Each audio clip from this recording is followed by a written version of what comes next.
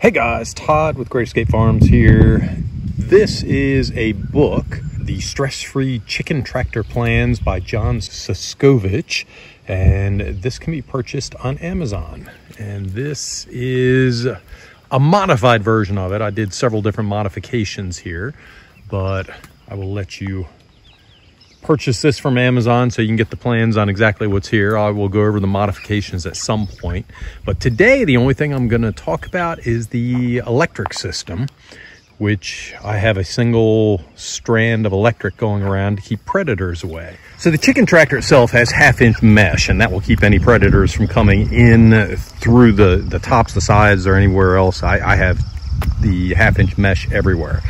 What the chicken tractor design itself doesn't protect is a predator digging underneath of the chicken tractor itself and that's where the electric fence comes or the electric wire comes in so uh, it's six inches out six inches up in all directions all the way around and it is electrified to just under 10,000 volts so any predator that comes over and tries to dig, it's going to come, they always come right up to the uh, chicken tractor itself and try to dig under. So as they approach, they will hit the wire, get a shock. It will not kill them or permanently hurt them. It just makes them respect, respect the wire. And at that point, they will be deterred and move on. So let me talk about what didn't work, at least for me to begin with. So I started out putting in T-posts here and I had to use a T-post driver to drive it in and uh, it took everything I could do just to drive it in this far and I cannot get these out myself without a mechanical removal tool which would be this right here.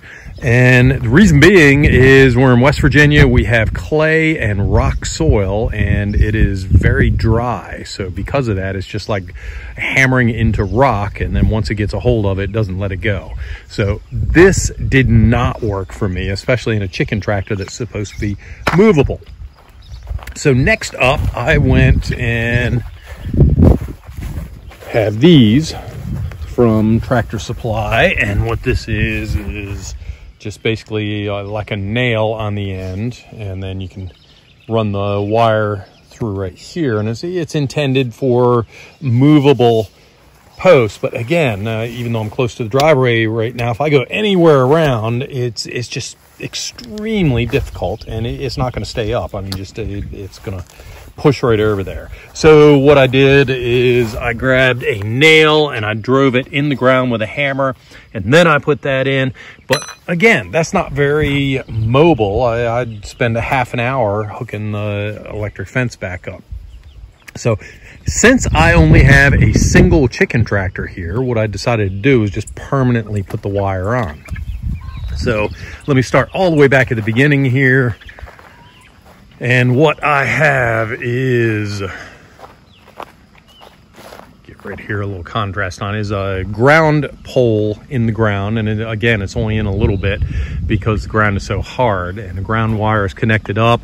I do have plans of changing that up. John Suscovich on his YouTube channel has a way of making a movable ground rod. And I'm probably going to do something like that and the ground comes over and it connects up to one end of the solar charge controller here. And then that connects up to the green peg there on the bottom over there. And then the red peg is hot. And the hot comes over and connects up to a switch right here. So it's connected up to the bottom side. And the switch allows us right now it is off or disengaged. The circuit is open and when we are down it is on right now so the system is energized. So when it is closed and connected up we have electric coming down this wire. Changes over to the string right here and the string has little wires through it and the wires are what uh, will electrify anything that touches it. So it's intended for predators. Uh, we are six inches out, six inches off the ground, all the way around. So any predator that's going to come up and try to dig underneath of this, it's intended to deter them from getting into the tractor.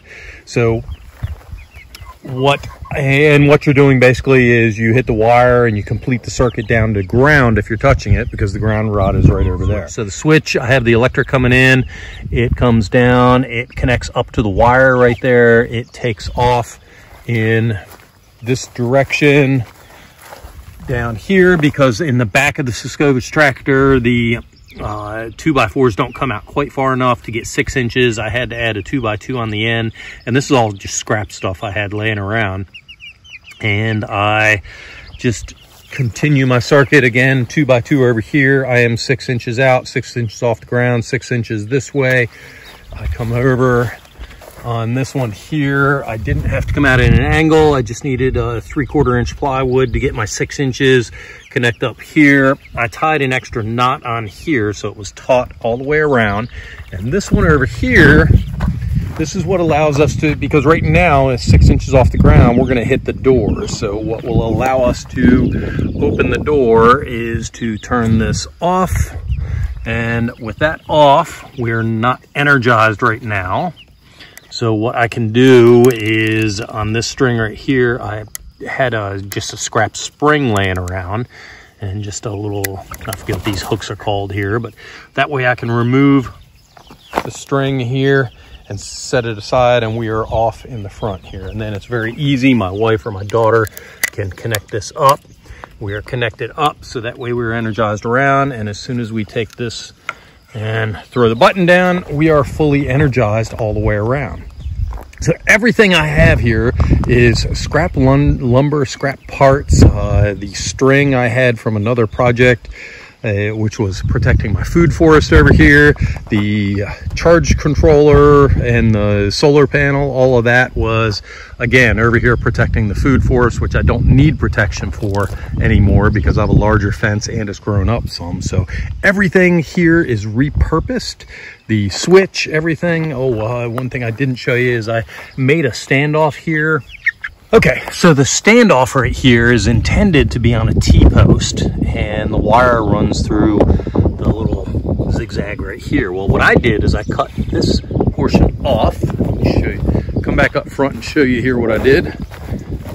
So I cut the zigzag off and I used the T portion, which is right here, and I drilled a hole right here on the top and I put a wire tie through it and I had plenty of those and that just holds the wire so I'm not shorting anything out to the actual uh, cage itself. And then down here, right there, the two white things, that is actually cable TV I forget what it's called, hangers or something like that. I had an excess of those around, so that kind of holds it off. And what I'm worried about, is eh, the pressure treated lumber, although it's a little wet, it's not too big a deal, shorting anything out right now, but we're calling for rain later this week, and I would have some issues there.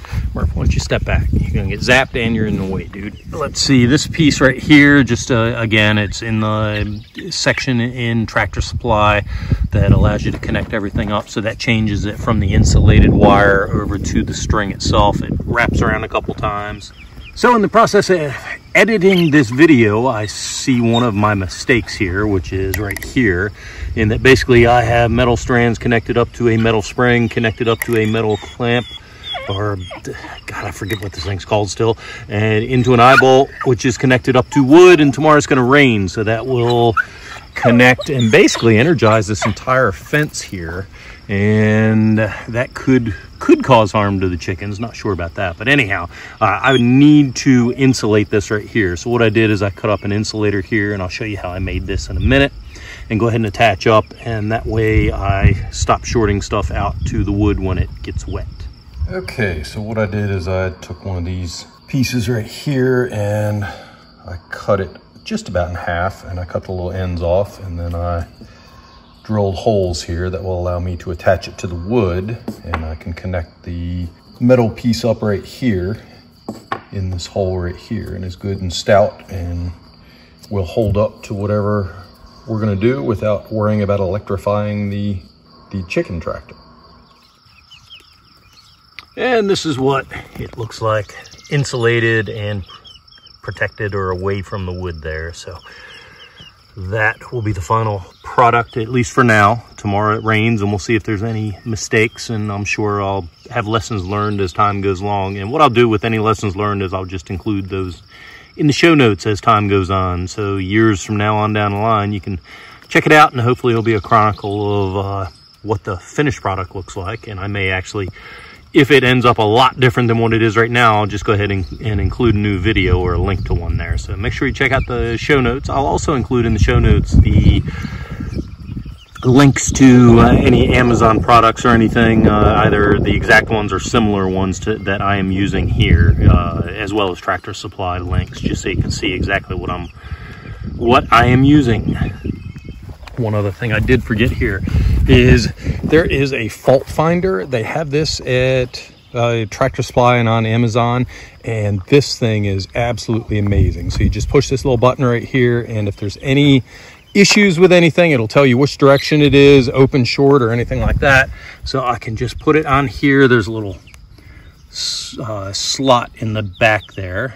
Let me see if I can get it right there. There's a little slot. I just lay it on the string, I push the button and there you go. It shows that I have 8, 8100 volts on there, 8.1 kV. Now it's 5.8 kV, 5.7.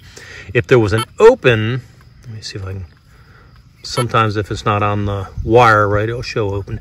But you see where it says 0a right now? It will show uh, one direction or the other with a number and it will show you which direction that you have a short where something shorted out to ground could be connected up to a piece of grass or something like that.